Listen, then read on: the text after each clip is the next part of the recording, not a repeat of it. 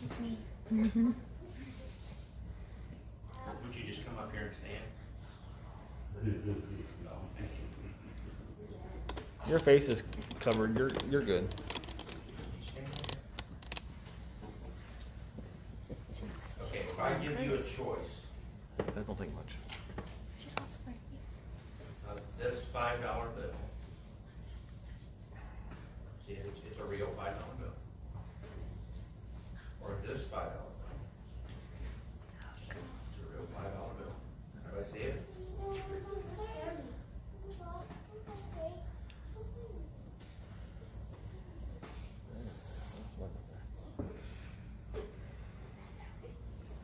Which one do you want? You get to choose. This one is covered in mud. I went outside and stomped it in the mud outside just a minute ago. It's wet, nasty. You get to keep one of them, which one you want? You have to put it in your your purse or your pocket. Yeah, that's what she's doing. Trying to figure out this trick. She's trying Oh, to. you're just trying to overthink it. Which one do you really want? Mm-hmm.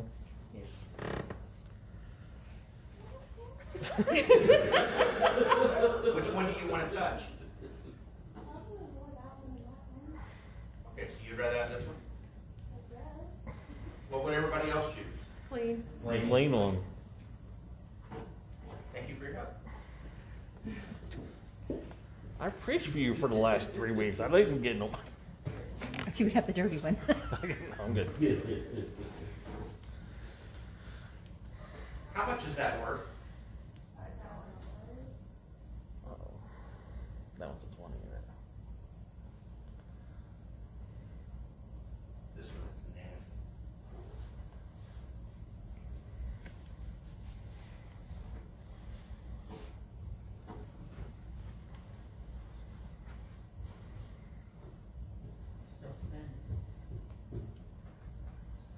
How much is that.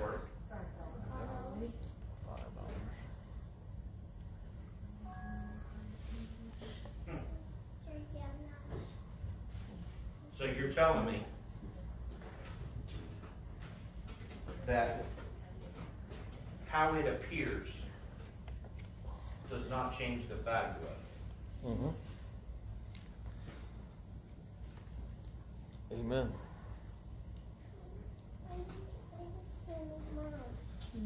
Do you know what that's called? It's called grace. Amen. That's a visual for everybody to get in your head the next time that the devil or people tell you that if you become stained, if you become wrinkled, if you become worn, if you have become spotted, you have become dirty, that God no longer has the same value of you.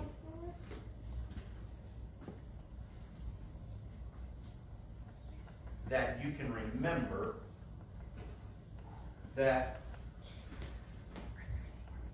when God looks at that, he doesn't see the dirt on it. He still knows what the value of it is. Yep. Amen. He doesn't see the dirt, the junk, the filth, the, the things that have driven you to your knees. Mm-hmm.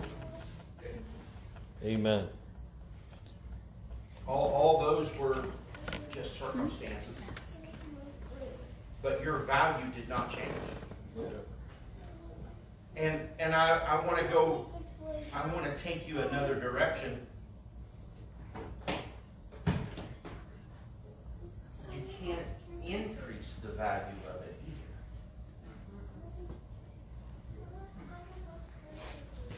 You increase the value of it and it becomes counterfeit.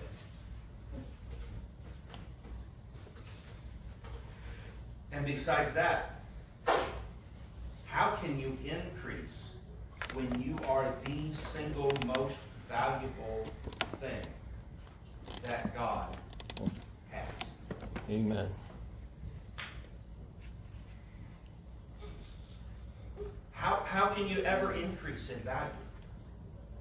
are the most valuable? When was the last time that you had a thought go through your head that you thought for a while and you really concentrated on it and you said to yourself, I am the most valuable thing that God has? Never. You need to. Amen. You need to. Because everything in this world is conditioned to show us that condition is everything. Hmm, Yep. Amen. That the condition of this bill makes it less valuable. That the condition of your life makes you less valuable. That the condition of your mm-hmm. heart makes you less valuable. That the condition of your marriage, that the condition of your checkbook, that the condition of everything, how you. it- the world has conditioned us Yep. to believe that condition is everything, Amen. but it's not. Nope. Possession is everything. Possession. Mm-hmm. I am. You are. We are a possession of God. And because it's God's, it is valuable. Amen. Do you hear me? Yep. Okay, let me, let me, let me illustrate that a little bit before I dig into some scripture. When you lose someone and you have lost a loved one, the smallest of things that have absolutely no value whatsoever, mm-hmm. They suddenly have tremendous value. Yep. Not because of what they are, but because of who they belong to. Yep. Amen. Amen? Amen. Amen.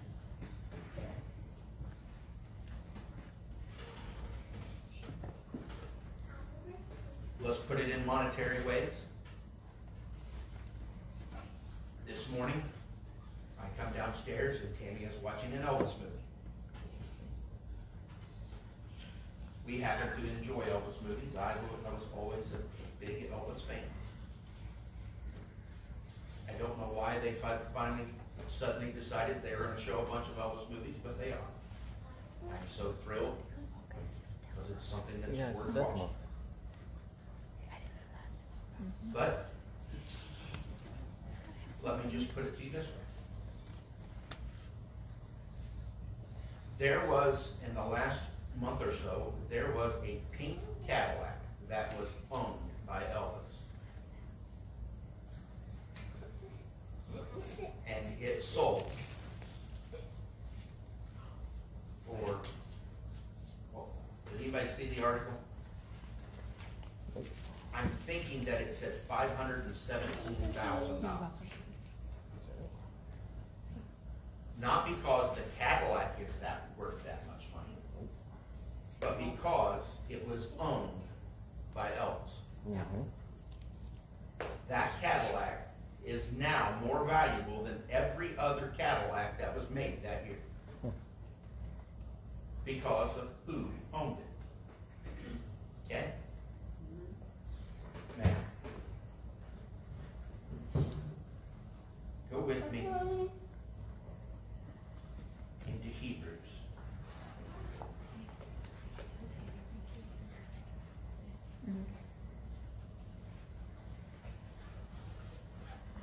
chapter 4.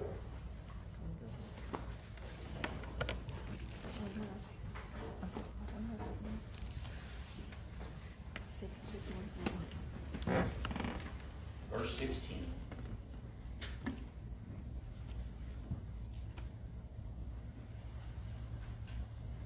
Let us therefore come boldly unto the throne of grace, that we may obtain mercy and find grace to help in time of need.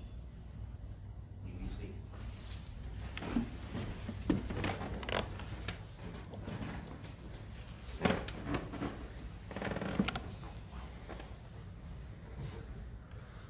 I am, uh, I'm struggling to not preach three different messages that are rolling in my head. Bless him, Lord. They're not, it's not time for them, so pray for me that I can stay focused. Bless Blessing Lord. This, uh, this five dollar bill, this dirty five dollar bill. It's wet. It's nasty. I will have to use hand sanitizer.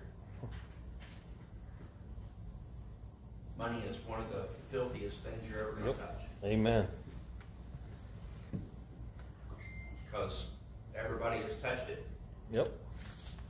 It's got germs all over it. Guarantee you you run an analysis of basically every one, five, and ten, twenty dollar bill, and there's some trace of drugs on it. Mm-hmm.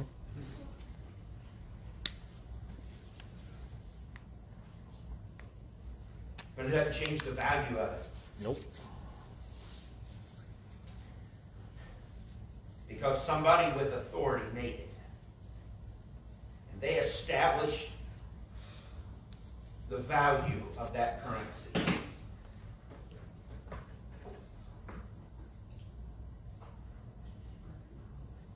And I want to tell you this morning that you and I have been wonderfully and fearfully made. Amen. We have been made in the image of the Almighty God. Mm-hmm. And we and our value has been established in heaven. Amen. I want you to hear that. I want you to really hear that. Because right now we are in the midst of a turmoil in our world that is constantly, it is attacking. Yep. It is attacking our Christian values. It is attack, attacking our faith. It is attacking morals. It is attacking common sense. It is tearing down every possible thing that God is attached to Mm-hmm. that they think that they can destroy. Amen.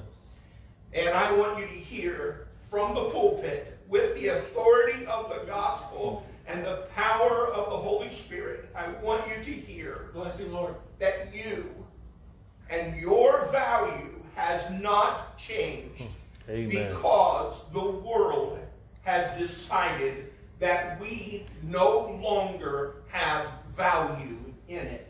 Mm-hmm. Amen. I want you to hear, and I want you to know that in heaven, where you and I were minted, God established our value when He made us in His image and in His likeness. Amen. That at the very beginning, when He made us in His image and in His likeness, before we were ever created, it was established that the Son of God would give his life for us mm-hmm. because God esteemed us so valuable that his Son is the only price that could be paid to purchase us. Yep. Yep. And because of that, you and I, humanity, is the most valuable thing that God has. Amen. And your value has not tarnished because your life has been tarnished. Amen. Your value has not diminished because sin has affected you. You are not less than because you have sinned. You are not less than Come on. because you're not what the world says you have lived up to your potential or that you're not liberal enough to be of value. At this present time, here is where we are. We are in a condition that if you are not of a liberal mind, you are devalued Yep. in this world. Amen. Yep. A friend of mine from high school sent me a message. He has worked for a company for 25 years.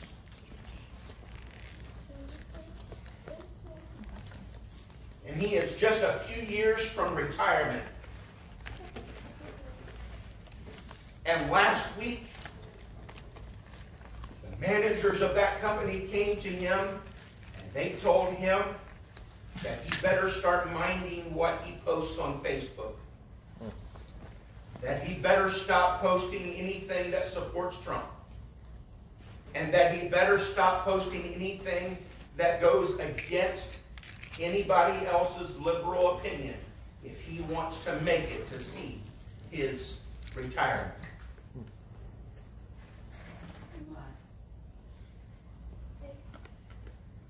Because they can't have someone that is not supporting a liberal agenda. It creates too much problems. His work for 25 years has now become less valuable. Yep.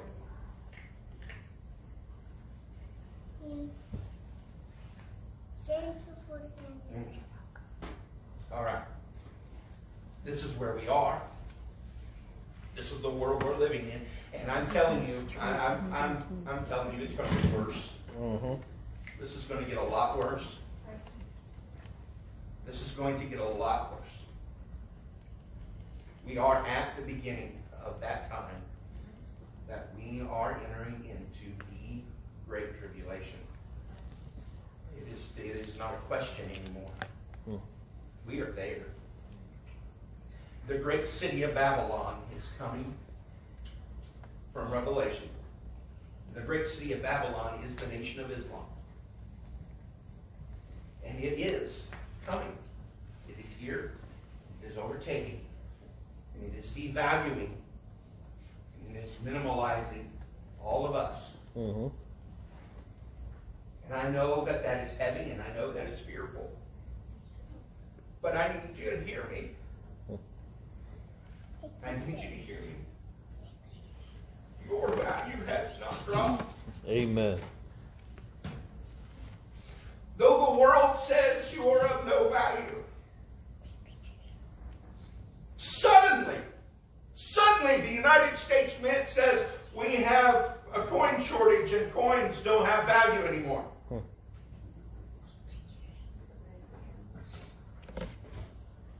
They've always had value, now they don't have value because the people that minted them said that they don't have value. Mm-hmm. Uh-huh. Now catch this. The one that minted you has never said that you don't have value. Amen. The one that made you said, you hold on. Yep. Amen. You endure to the end because I'm coming back. I'm, do you hear me today? He is not coming back for himself. Mm-mm. He does not need to come back to prove that he is God. Nope. He does not need to come back to this earth to prove anything.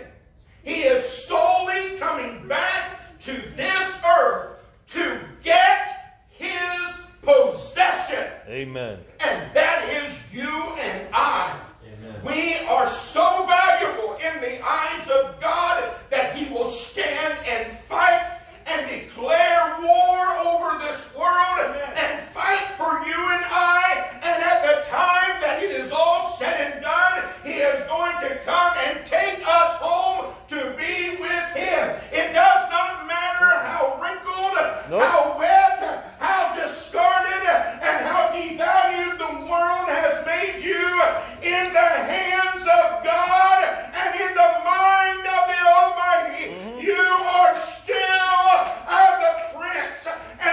Amen. of the princesses uh, that He made you to be. You are His creation.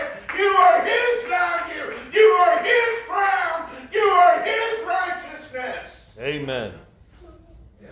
You hear me today? This world says that we have no value anymore. And I'm telling you, they're wrong. They're wrong. Mhm. Are we going to have to behave in different ways than what we've ever had to? I'm afraid that we're probably going to have to. I'm afraid that we're very quickly approaching that time that we're going to have to behave in ways that we didn't want to. Mhm. That we're going to be fearful of people.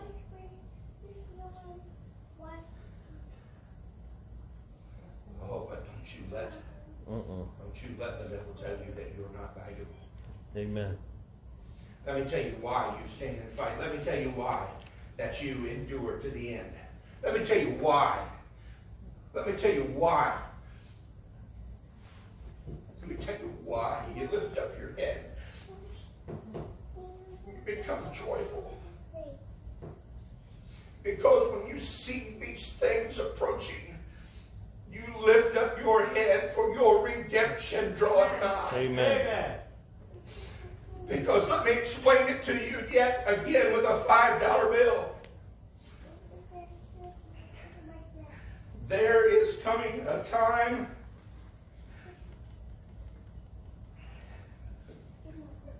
that the Lord is coming and He is going to redeem every one of us out of the drawer that somebody has put us back in, in the jar Yep. in the worthless container, in the never thought of again. Anybody have that jar for your change? You know the one when you throw it in, you never think about it again until it gets too full? Huh? Oh, mom had them. We had, had to hunt hunt hunt hunt to find them. But they, we knew they were there somewhere. But mom's, mom kept every, everything she could get except for quarters because dad wouldn't let her have any. Now I know that sounds strange, but that was Dad's car wash money, so he never gave her any of his quarters. He had quarters everywhere. Mm-hmm. I pulled six bags of quarters out of one car. Just going through, just going through the trunk and in the and the seats and such, he had baggies full of quarters, so he could stop and wash his car whenever he wanted to stop and wash his car. Mom had nickels and dimes and pennies and she filled up jars like this with nickels, dimes, and pennies. And every major appliance that they bought, do you know how they bought it? They bought it with nickels, dimes, and pennies because mom saved all those up, and that's when she went and bought it. Yeah. Put it back, and nobody knew about it, nobody ever thought about it. They were just nickels, dimes, and pennies, and they had no value whatsoever to anybody else. Oh, but there is coming a day that the Lord is going to come back, mm-hmm. and He is going to pull all of us nickels, dimes, and pennies out of the places that the world has forgotten that they've even shoved us. All the hidden places, the places where we've hidden in our homes, the places where we've had, where we've had and, and stayed and said, God, even so, come, Lord Jesus. And we've looked up and said, I'm waiting for your arrival. I'm looking and I'm waiting and I'm not giving up. I'm going to hold on until you come. And the world has forgotten that we're even there, but He hasn't forgotten. Uh, he hasn't forgotten where we are. Uh, he hasn't forgotten one of them buried in the hillside. He hasn't forgotten one of them buried at sea. He hasn't forgotten none of them that have served Him. I'm lifted up their heart to Him and said, Oh Lord, have mercy upon me. I read you the verse. I'm boldly. I come before the throne of grace uh, that you may obtain grace in the time of need. Uh, here is the time that we are, and it is time for us to go before the throne of grace boldly uh, because we need grace. Uh, we Amen. need to be reminded that Yep. it is the grace of God uh, that has made us the valuable thing that God is desiring. Amen. Amen. Amen. See, it's grace that reaches in, wipes off, straightens out, Mhm. and cashes in. Yep. Amen.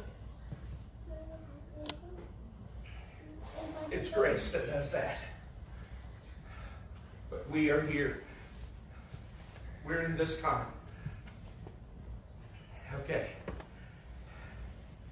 Let me let me address one more thing. That means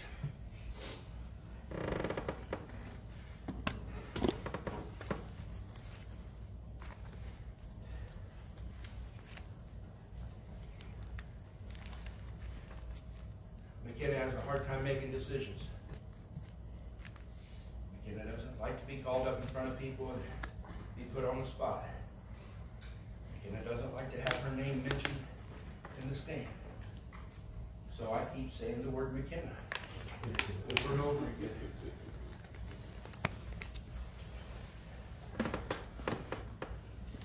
I'll tell you something else about McKenna. because God put her on the earth today. McKenna, you were chosen for these times. Yep. Amen. You were chosen Yep. because the Lord has chosen us to be that generation, Yep. this generation that endures a tribulation that a world has never seen before. Yep. Amen. It's our, it's ours. Mhm. We can be fearful and we can say, I don't want to, and I don't want to. But I am reminded I've been chosen to. Amen. And if I have been chosen to, that means I am able to. Amen. And because I've been chosen and I'm able, I am blessed. Amen. I am blessed. You realize what that means? Does anybody really, have you really put any thought to what it means to be of that generation? That means one of two things are about to happen to all of us. We are either going to mar- be martyred for the kingdom of Christ, and that's mm-hmm. scary. I don't want to die, Nope. and I don't want none of you to die. I don't want that to happen, but it's mm-hmm. coming. It really is. I'm sorry, but it is. It's coming. Amen. We're either going to die and end up in the grave and he's going to come back after us, or we are that generation that are alive and remain. Mhm. There is but one generation in all of creation that is going to be able, that is going to be able to stand and look up and see the King of Kings and Lord of Lords descending from the clouds and be able to look and see our loved ones raised from the dead and rise to meet him in the air. We are the only generation that will be able to know what it is to be changed in a moment and a twinkling of an eye and rise up to meet him. We are that generation. We are that generation. And that generation, my friend, is blessed. Oh, we may have to endure. Morning may endure for the night. Oh, but joy cometh in the morning. Amen. Amen. Anybody else feel what I feel this morning? Yep. Amen. Oh. So what are we to do? That's, I wanted prayer this morning. I believe that we all need to start fasting and praying, seeking the face of God, and find out what we should be doing. Because we need to be doing something, because I don't want to just be here. Amen. I want to be active. Yep. I want to, I want to, I want to endure, but you don't endure by doing nothing. Yep. Amen. You don't endure by doing nothing. Nope. May come a time that we can't gather here in the building. When we can't gather at the building, then we'll have to gather at a home. There may come a time that we may have to find us a compound and all live together. There may come a time that we have to put guards and guard it to be able to keep ourselves alive. There, those times may come. Yep. Amen.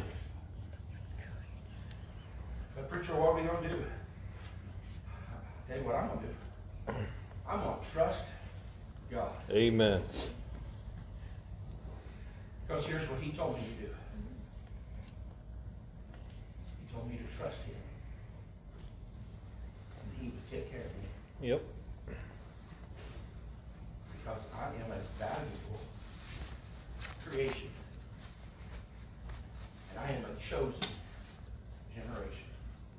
I have been chosen for such times as these. And so have you. Let us, let us be thankful for every situation that has driven us to our needs. Amen. Let us be thankful. Mm-hmm.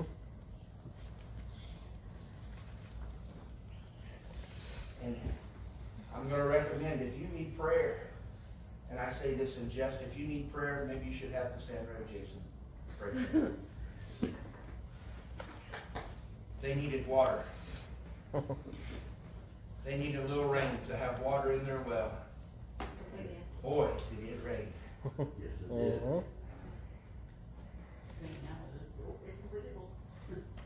But let's look at that literally now. Let's look at that. There was a need. Yep. Amen. And God said, I will provide your needs. Yep.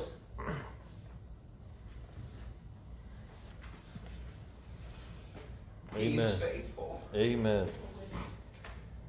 Therefore, let us approach the throne of God boldly.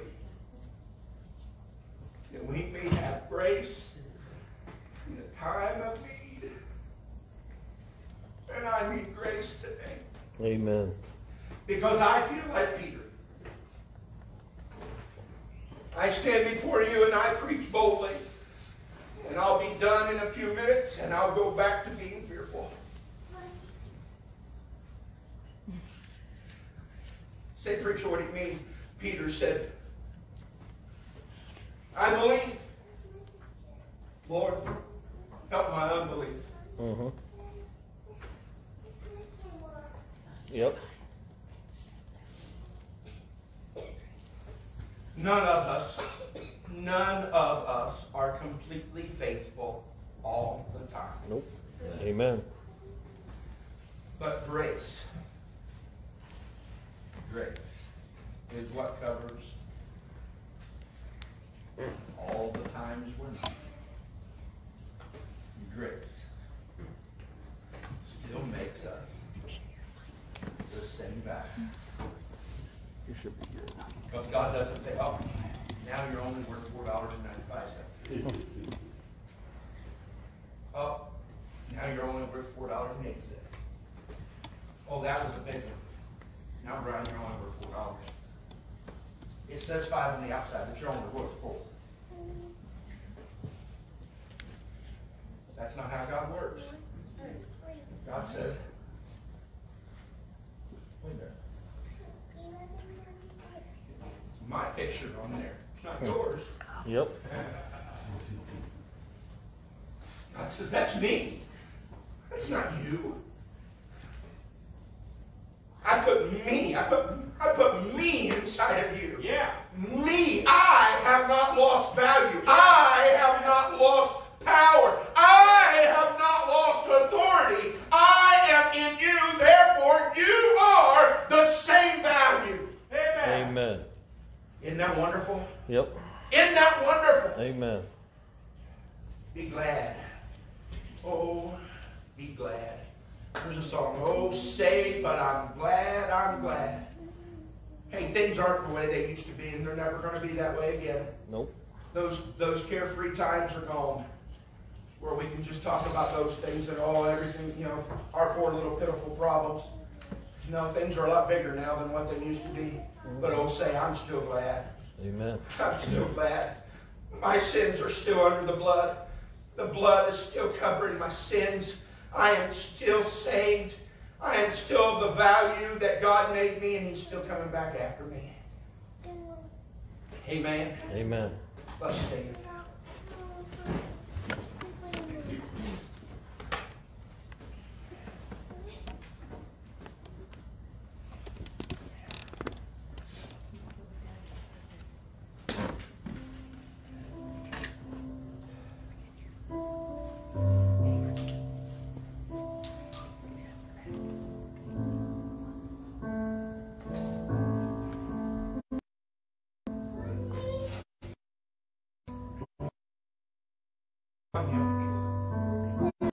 There is a circumstance that you need to consider.